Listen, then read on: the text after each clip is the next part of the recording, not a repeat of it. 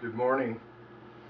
It is August 27th, um, 2nd, sorry, August 22nd, uh, 8.15 approximately in the morning. Monday morning, it's raining, cats and dogs. My baby is uh, getting her wish today. It's raining good and she's going to be able to uh, enjoy a relaxing day inside today, I think. Uh, because down where she's at it's raining good so I wanted to give her that you know I love you babe. Anyway um, let me get down to business. Uh, those of you who've been following my uh, series uh, the playlist BM MBFUMM my uh, playlist uh, depicting the battles that I've had, been up against to obtain the right to use medical marijuana for medicinal purposes uh, it's been a long fight and it's been hard and I know it's been a long time since I uh, last updated this series. Um, that's because I had something very, very big and wrong happen uh, back on in June and then an even stronger blow to the cause and to me both uh, again here just last month uh, or at the beginning of this month. Uh, holy cow! I wanna I wanna start just by saying that uh,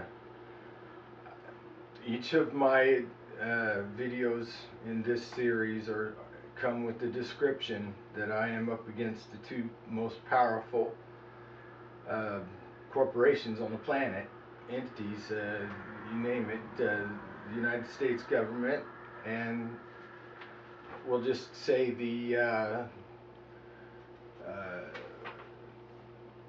what do you call it?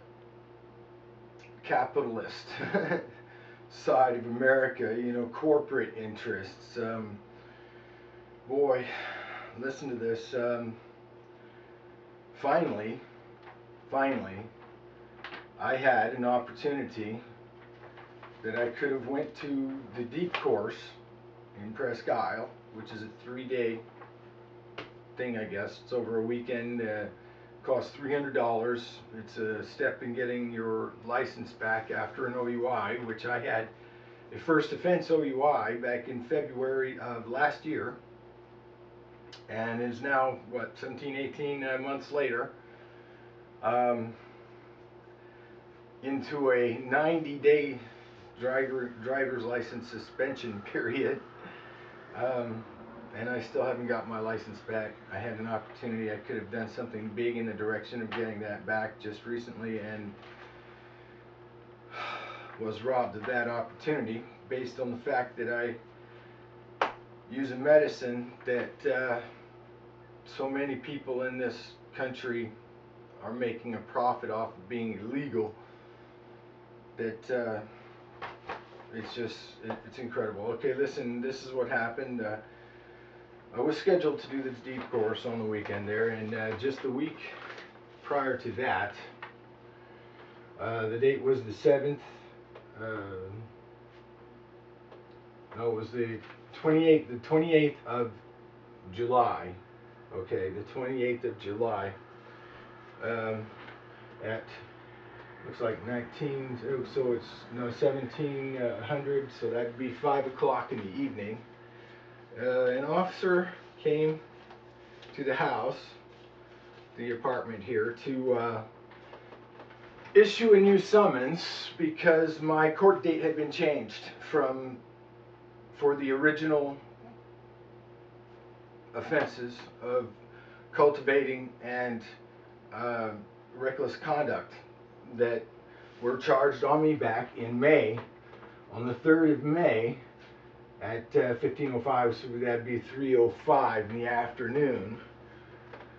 Uh, and when he came, uh, although I had no usable marijuana at the time, I'd been quite some time without medicine, as a matter of fact, and was given this Tramadol H CL 50 milligram tablets to be used one every four hours as needed or whatever. Uh, instead of the medicine that I require.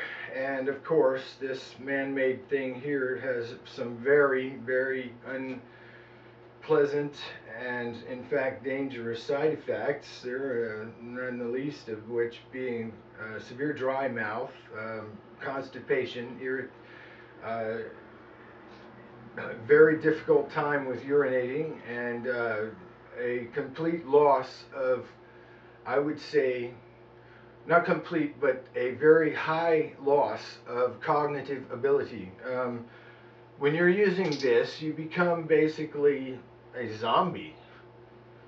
And that's the way I can describe it. Um, and along with that comes this feeling of dread and despair. So it, it, it causes you to go into depression as well. So even though it does have a mild pain relieving effect, the side effects that go along with this are horrible, horrible, horrible. And he's giving, and I was giving these a hundred at a time, refillable six times, a hundred at a time, refillable six times. Or this is, and this is an addictive medicine too. Okay. Uh, not as addictive as some others, but it is addictive. And for a person like myself who has been addicted to different kinds of very, very powerful pain relievers for, for a very long time, uh, I really don't want to be messing around with something that is going to take that. It's like a it's like a Russian roulette. Okay, with me, there's uh, playing around with addictive stuff is not right. It's not something I should be doing, and and especially not when I when you look at all the harmful side effects that go along with that. Okay. Now the thing is, my medicine is marijuana, and unfortunately, until it's legalized federally, and I don't mean just, uh, um, you know, like Obama has written this um, signing statement saying that federal charges won't be pressed or upheld or, or pursued in states that have adopted medical marijuana laws. Okay, that's what I consider to be dancing around the issue. We need to get the federal government out of the way and altogether because let's face it, the Constitution doesn't doesn't allow for the federal government to come into my home, my private space, my sanctity, sanctuary, my peace of mind here. The police came into my home in spite of these new laws governing my right to privacy with through medical necessity and because I don't have certification, now think of this, people. My issues that require the use of medical marijuana stem from injuries that I've sustained throughout the entirety of my life. There isn't uh, anything that I do. If it requires movement on my part, it causes me pain. And this kind of constant reality check in the pain index also ca causes depression and hopelessness and you know especially when everything that's been tried with you has only caused very severe problems except for the one thing marijuana Nothing, not a single side effect from marijuana is harmful to me in any way, shape, or form. In fact, the side effects that I do enjoy from the, the use of my medicine and med medical marijuana are that there is no depression. Depression doesn't exist, period. It is not there when I'm using my medicine correctly. And there's almost no incorrect way to use it. It's been medically proven, factual, factually proven scientifically that marijuana cannot be overdosed in any way, shape, or form. It cannot kill you no matter what length of time you use it.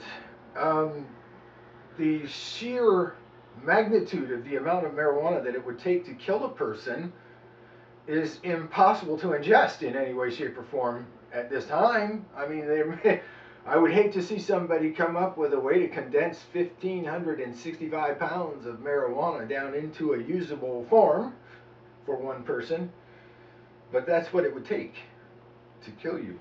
And it can't be done at this time, so we can safely say that marijuana is safe and effective.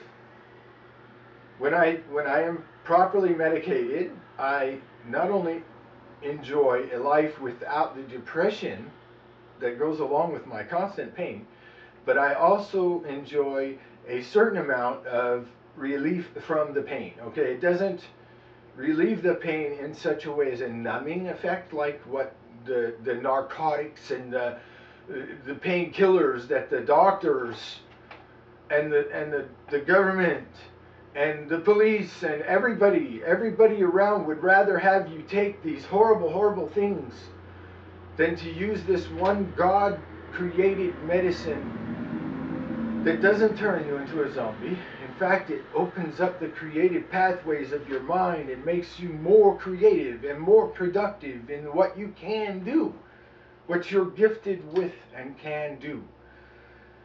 Uh, those of you who know me and been following this series know that this is not just any casual uniform to me. This is, in fact, a, as much of a uniform to me as my military uniform was when I was in the Army. My BDUs, these are my casual BDUs, and I'm in these because, in spite of the fact that state laws have been passed so that my doctor of choice, any doctor in this state, has the right to prescribe the medicine marijuana to me to use. And there is no longer any obligation, thanks to the new law passed by Governor uh, uh, Page, LePage, sorry, um, thanks to the new law, Governor LePage has made it so that in the state of Maine, it is no longer a necessity to report or uh, license or, you know, to register with the state the use or user who needs the medical marijuana. This information is now private privileged information between doctor and patient as it should be, as any other medicine is, and as marijuana should be as well. Thank you, Governor LePage, for doing that. However, it did not help me with getting my medicine legally prescribed to me because the doctor told me, even though he no longer has to register it, and it can be private, privileged information between us. If I am uh, checked by police authorities or anyone else for that matter that wanted to uh, look into me and why I'm using medical marijuana, or you know, they would uh, see that I have the medical permission to do it. And of course, even though the doctor's name isn't subscribed to it or whatever, it in some way they can still go after my doctor. So it has to be a certain doctor that can do this with a certain, I don't know, he doesn't take any insurance. As he's located down in Hallowell. I'm going to see him on the 25th here, Thursday. Um, it's a long ride. Holy cow. It's uh, a little over three, 400 miles almost. Almost 400 miles. One way. So it's a trip to go down and see this one doctor in the state of Maine or his practice uh, so that I can be certified to use medical marijuana. Now unfortunately this is coming late because prior to being able to do that and and missing my opportunity with the DEEP course, I had this happen to me. A neighbor of mine who was a a self-proclaimed drug addict found out what I was doing here and that I was trying to uh, take care of myself by growing my own medicine. This idiot fails to realize that I am not into the illegal drug business. I, in fact, have hated the fact for as long as I've had to use this system that I had to get my medicine through illegal channels. I've hated that fact all along. That's always been a real problem with me dealing with, okay? Um, I thought, and should be, according to the United States Constitution, if I read, read you know, if I am familiar enough with it, uh, that in the sanctity of my own home, uh, I can pretty much do whatever I want so long as I'm not harming anyone else. Um, this is my home. I live alone. Me and my cat, Mr. Mittens here. We are the only occupants of this apartment, and uh, we like it that way for now. I mean, I got a girl who's oh, I cannot wait to have her with me. Oh, that's as soon as I can get this mess taken care of, she's finally going to be with me. We're going to be together finally and have a chance to live alive, make a family, you know. But I got to deal with this first, okay? So I've got originally the two charges of uh, cultivating marijuana and reckless conduct. That, as I was saying, my neighbor, who is a self-proclaimed addict, uh, and found out what I was doing here, thought that he could uh, just abuse um, my hospitality and I guess in ways force me to use my medicine with him for recreational purposes. Um, he came over one day, that was on the uh, 3rd of June, and it was uh, maybe noon when he showed up because earlier that day I had um, a friend, another friend, a real friend, come over to visit me, and uh, he had gifted me with some medicine. And for that reason, this friend will forever remain nameless.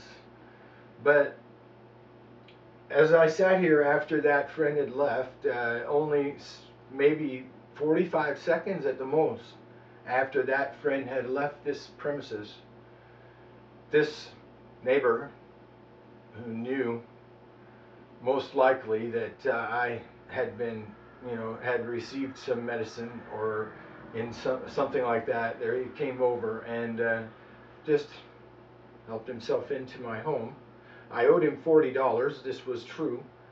And when he first showed up, that was his reason for being here.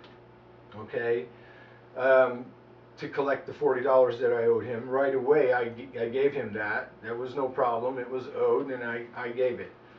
Um, as I turned around, now he was standing at the door, approximately where the camera is positioned now.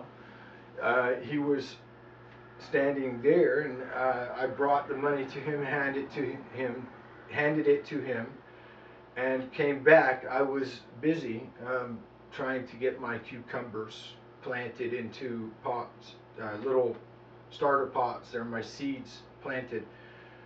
And that's really I was all I was wanting to do. It was quiet morning. I had the news on, not, not really doing much, and and planting that. And I had this little bit of medicine that was gifted to me. Well, of course, he smelled that when he came up here to collect his $40, which seeded the fact that I had just gotten some medicine.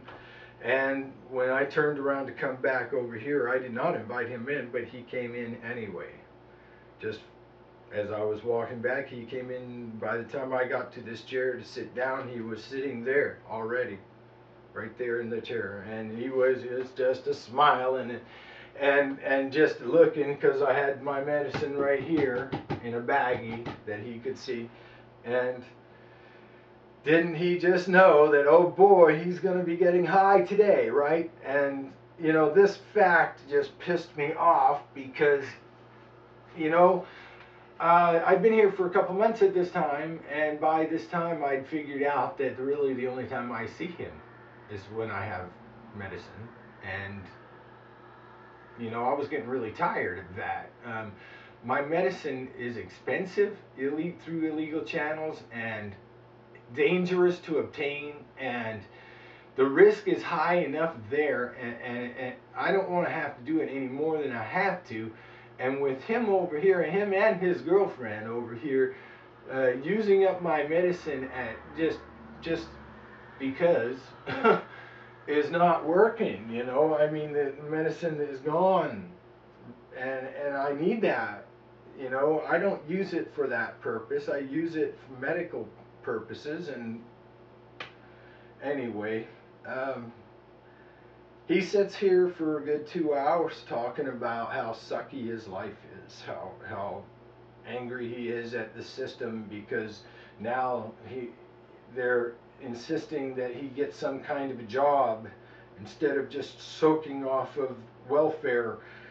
Him and his girlfriend living in this building, him in one apartment supposedly, her in the other apartment, supposedly, both collecting state and federal funds to live the way they're living, and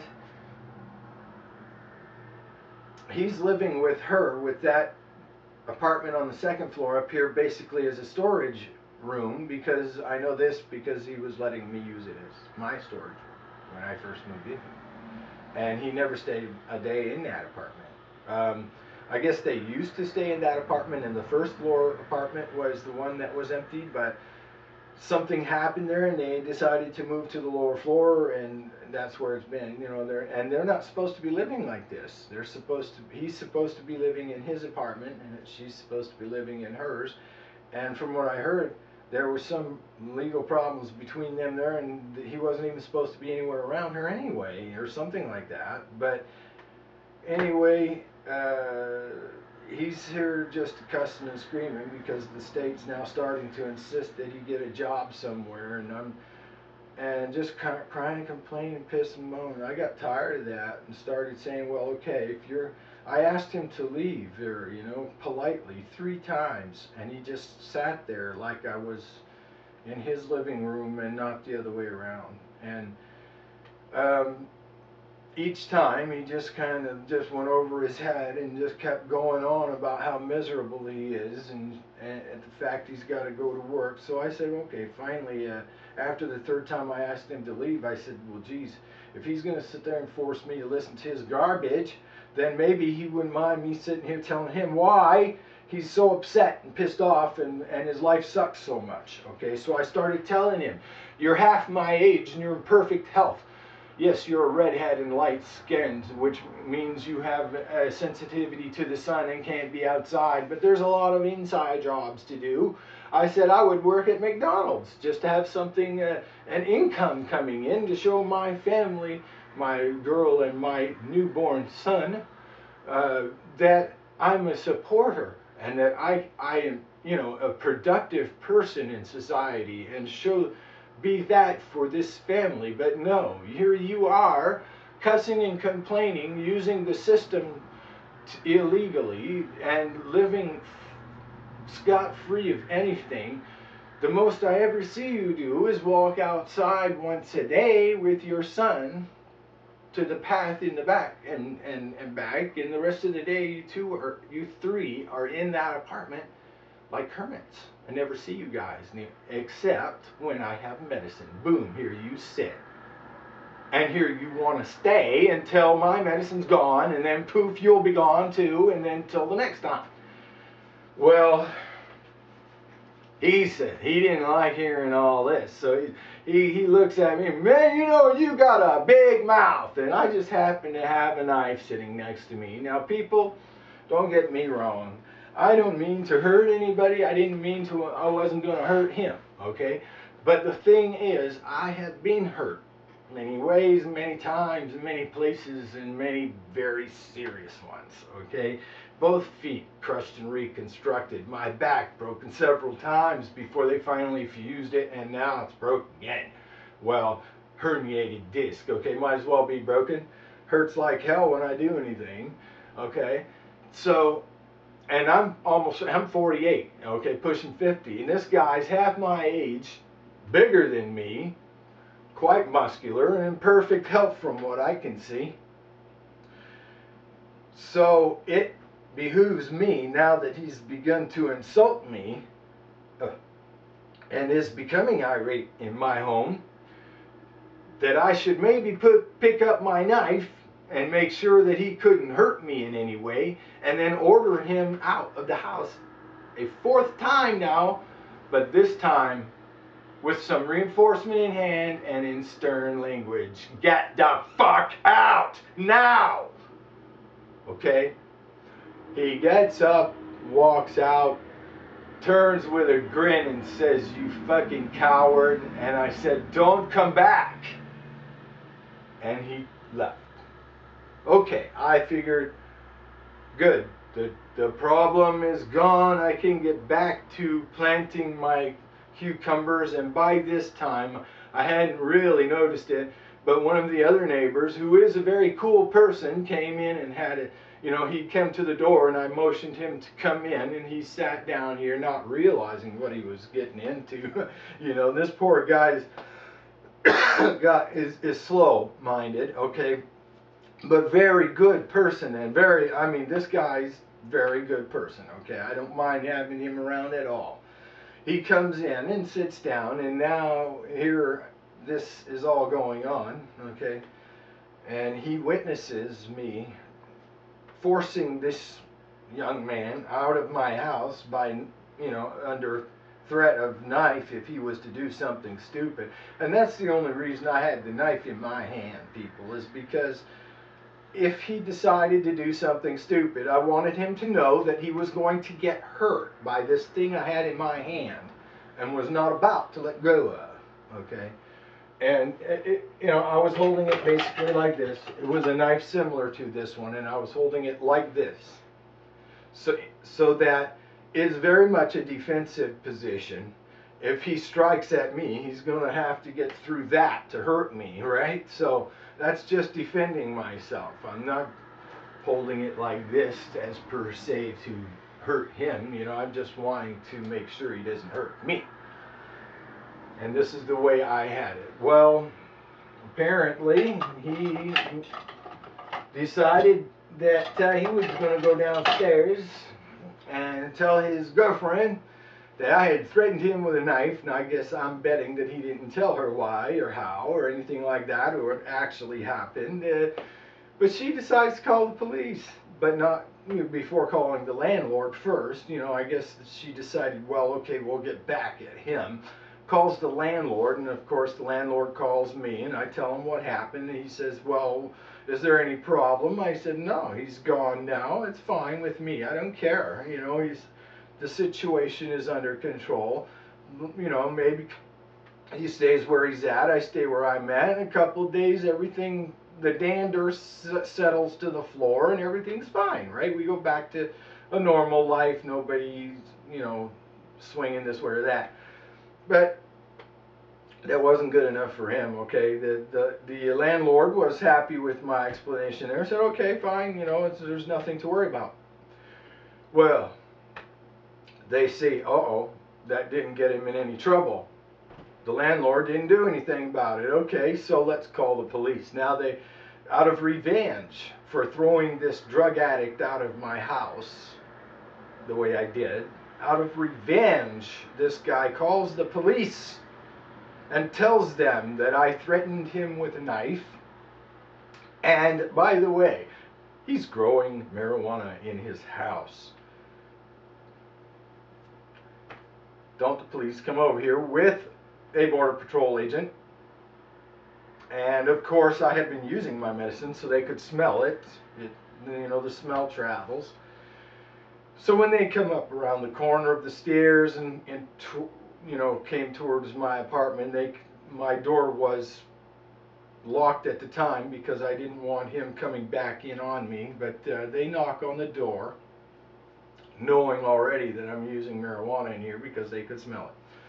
So I open the door and they ask, hey, uh, what's this about the knife and this, that, and the other? And I explain to them what happened.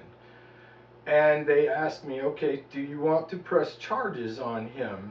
And I'm like, no, there's no need for that. He's he's down there where he belongs. I'm up here where I belong, and everybody's happy. There's no reason to go any further than that. And they agree that he agrees no charges need to be pressed. Well, I'm asking myself, why then did you call the goddamn cops? Anyway, they tell me that he is not interested in pressing charges either. And I say, okay. And uh, I had some stuff, of course, stored in his ghost apartment here that he's collecting uh, off the state and federal funds from. Uh, and he wanted me to remove those from them. They, they informed me of that, and I said, okay, no problem. Just uh, uh, if we, we, you can do this anytime. If he wants to do it now, we can do it now. And they said, yes, we'd kind of like that. So I said, okay, no problem. I'll be, just let me know when he's ready and the apartment's open, and I'll start moving my stuff out. They said, okay, and I went to shut the door. Well, just as I was closing the door, the officer says, you oh, know, by the way, where are the plants? I can't argue with the man. I can't hide the fact that I'm using the medicine in my apartment. He could smell it, obviously. It was sitting over here. He hadn't seen it yet, but it was there, and he was coming in and would see it. And what is the point of raising a fuss when you know full well that you're doing what you're doing, and they're they're going to come in and see that? And so I just said, hey, he started to the officer started to say you know you don't we don't need a search warrant. We can smell it. And I, I told him I stopped him said hey that's not necessary. Come on in. I'll show you what I have. So they come in and walk straight behind me into my room in the back that I had set up as a grow room and uh, under my lights I have had eight small seedlings. They were eight inches tall, probably, uh, maybe three nodes each. Healthy plants, good stuff, uh, medical. Um, they were growing well, and it wasn't going to be long. I would be able to finally not have to buy my medicine through illegal channels anymore. I would actually be producing my own medicine right there in my home and to harm who? Well, they charged me with reckless conduct, even though he wasn't pressing any charges for the fact that I threw him out by knife point. They decided they would. And they charged me with cultivating marijuana, of course. Now, the officers were very professional. They were very straight up individuals, and I got to tell you, professional, very professional. Um, we sat and spoke for a while. I spoke with the um, the border patrolman first for a while. As I sat here, he stood where you're standing, and the uh, the the sheriff went into the back to search the, the grow room and to look at everything in there. And um, we t- I, I spoke with the border patrolman and we talked about my fight, my struggles, how hard I've been fighting for the right to use my medicine and how long and the things that I've done and had to go through. And um, he was very sympathetic with my plight. Um, I don't know if he agreed or disagreed with with uh, the the fact that medical marijuana is a reality. Um, he never said one way or another. The other officer did, the sheriff. He at first, when he was finished searching and pulling the plants up, uh, he came out with a plastic bag full of my plants, and I knew right away, okay, my girls are gone. And um, anyway, I um, I just uh, wanted to cry because what was going on here was so wrong to me. You know, I'm working so very hard just to survive a life of pain and, and anxiety and, and I'm not hurting anyone. I'm just trying to take care of myself.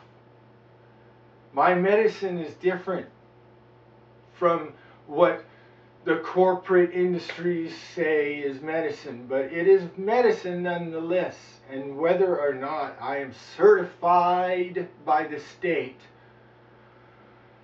by some doctor that says I actually do have a need for it, I mean, it's already been proven. I have here statements from my doctor that I do suffer, in fact, from severe pain, chronic, severe chronic pain, and his referral to the doctor that issues the certification for the use of medical marijuana, um, here specifically for the use of alternative medicines, i.e., marijuana. I have these documents here now to show that there is a doctor, a medical doctor here in this area, very close, provided to, to me uh, by my insurance caseworker. um,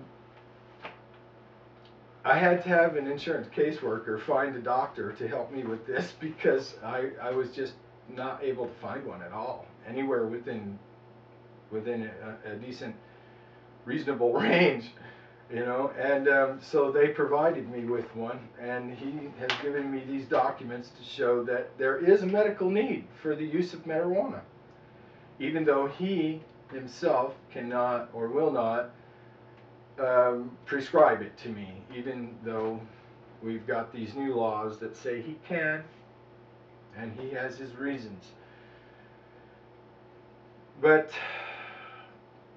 on what was it the 25th I think it was uh, the 28th June July 28th another officer comes to my door and he he gives me another set of citations. After he says he's there to issue a new set, uh, set of citations to replace the ones, the original ones, because my court date had been moved up a month uh, to the 9th of September, which is coming up very soon. Um, and of course, I, idiot me, I made a big mistake. I thought that for sure um, knowing what the officers knew as a result of our discussion we had here that day when they took my plants, that I was not into the illegal drug market. I was doing everything I could to avoid the propagation of that market by taking care of myself in my own home. And I thought that they realized that and they weren't going to bother me and they weren't going to come back for any reason. And I made a stupid decision to put my plants, I had at the time now restarted a couple of plants. These were just barely little seedlings now, okay? But um, just restarted some new plants and I had them out on the back porch getting some real sun. Like an idiot.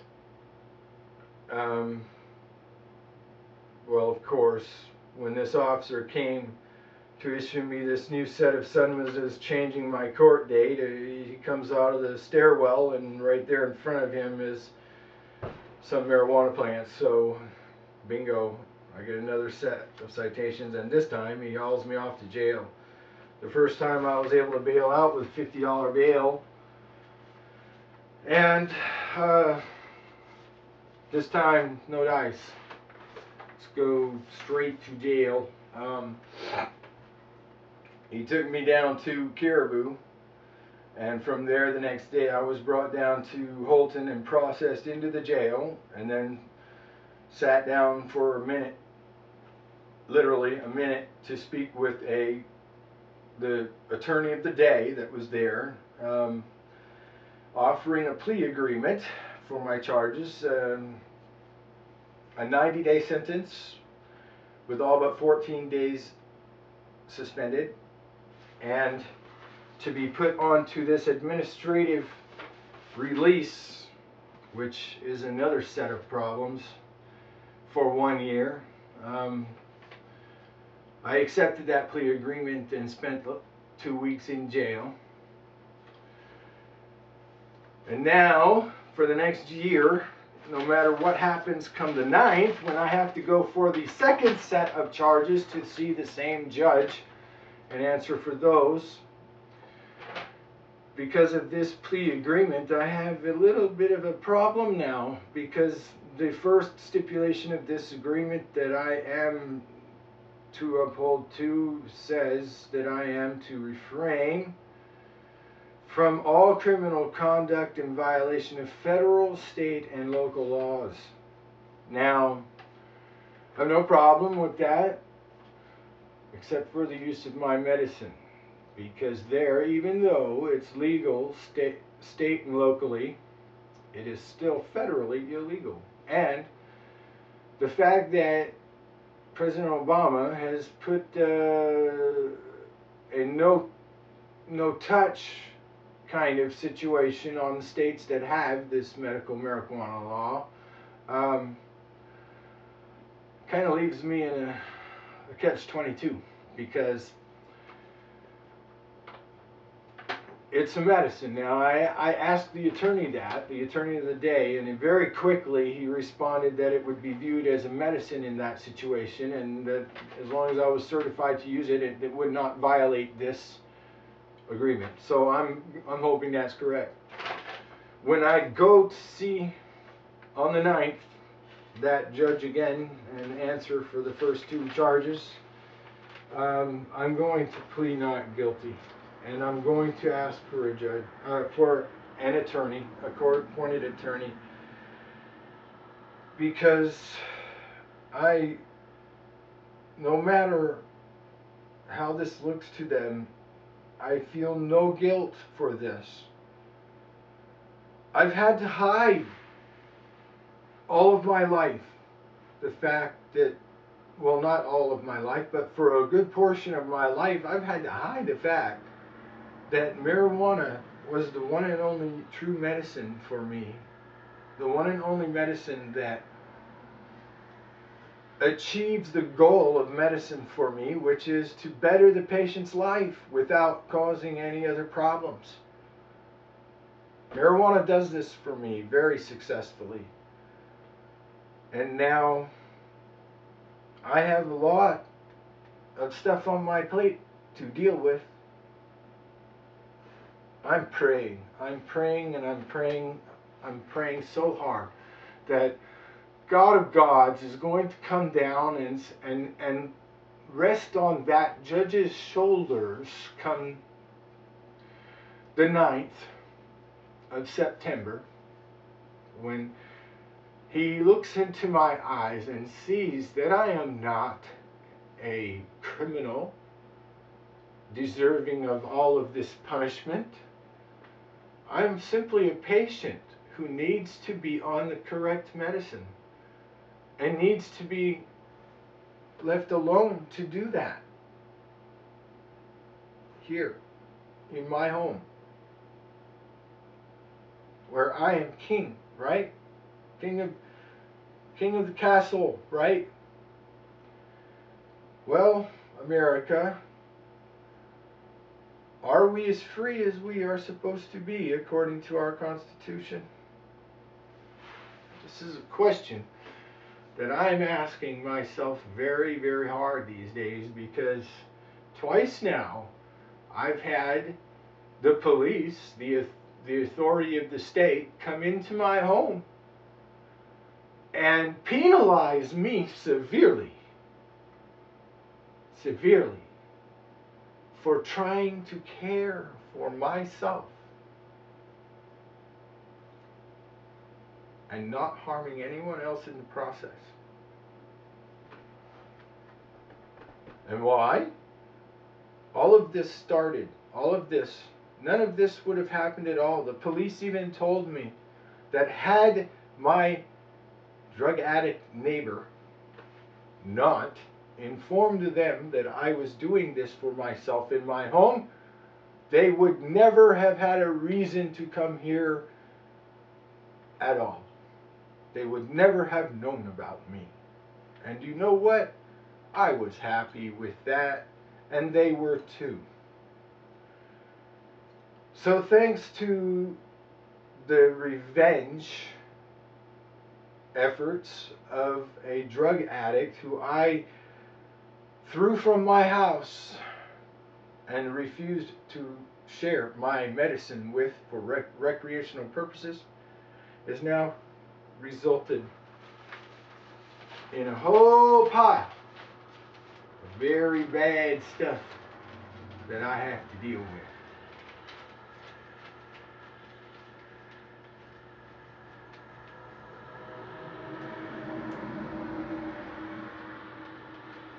I ask you, look into your hearts, look into your souls, and if you've been following my playlist, you know everything that this patient has gone through in his attempts to gain the lawful right to take care of myself the way I need to. And ask yourselves, is this fair? Where's the justice in this?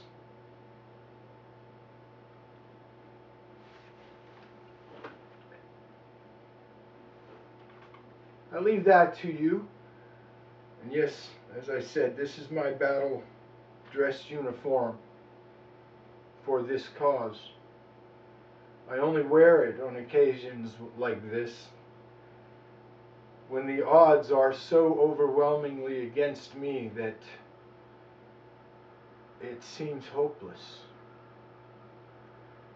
I don my battle dress uniform and I stand in front of it and I say, I will not stop. I will not let this hurt me. I will not let this stop me. I will not lay down.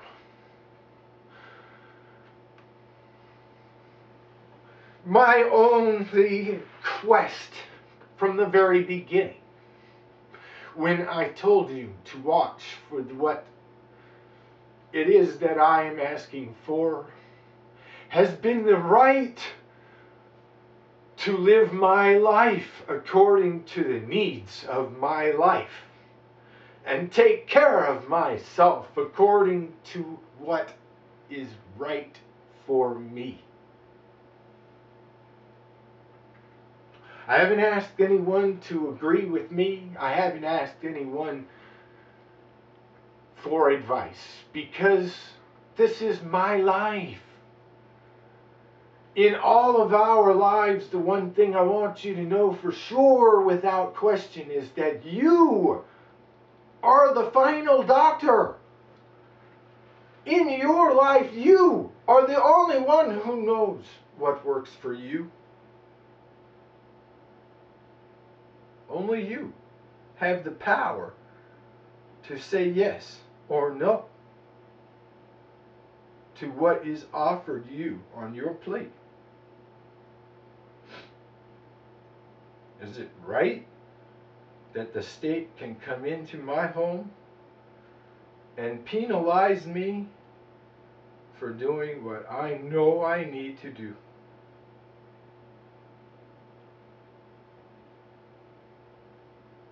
That's that's what I ask. And what I want is the right to take care of myself, as I need to take care of myself, and to be left alone to do that. I will not harm you in any way. I don't ask for your anything.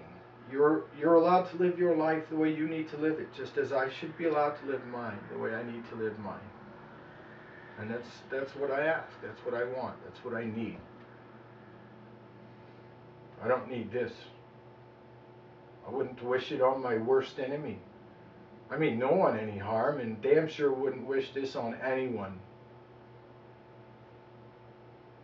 So I leave you with that and let you know that I do not lay down. This is not going to stop me. I'm going to plead not guilty the second time around. I'm not going to accept the plea agreement. I'm going to make a stand for my rights. And I'm going to ask an attorney to help me do that in a way that gets me out of as much of this as can be gotten out of and prevents any more from piling up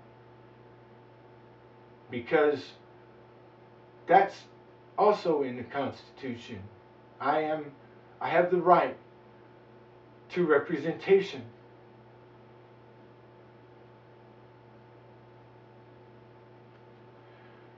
So we'll see what happens comes the ninth.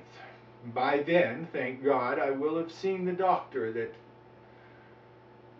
whose practice is the only one in the state, apparently, that issues this, the certification for people like myself to use medical marijuana legally. That and some other stuff that I have will hopefully also weigh heavily in my favor in my defense. I'm praying, gentlemen, ladies and gentlemen, people, friends brothers and sisters. The fight goes on. I'm looking at uh, a lot of stuff to deal with. I need your strength. I need your love. I need your support. Anything that you could say, anything that you could do, anything that you can dream of that will help me in this situation. Believe me, it's not only helping me, it's going to help all of us eventually, the first thing I think we need to do is get rid of the federal influence here. The federal government has no right to intervene in personal lives and lifestyles and, and, and state affairs. This is a constitutional guarantee and we should get back to that. I'm in total agreement with that. So, I'll let you go for now and let you know that again, you know, I'm I'm living with your power and I'm fighting the fight and it's not going to end here. Peace. Peace.